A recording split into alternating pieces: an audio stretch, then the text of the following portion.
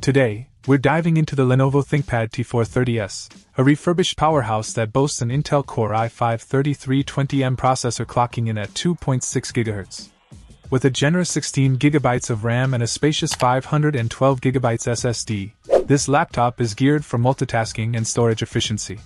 The 14 inch screen provides a sweet spot for productivity without compromising portability.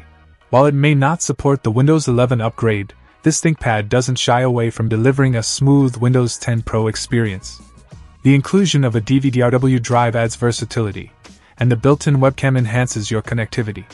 Whether you're crunching numbers, editing documents, or indulging in multimedia, the T430S handles it all with finesse.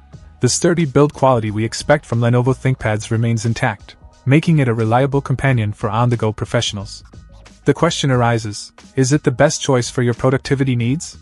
Stick around as we uncover the ins and outs of the Lenovo ThinkPad T430S. Check out the video description for updated price. And thank you for watching this video.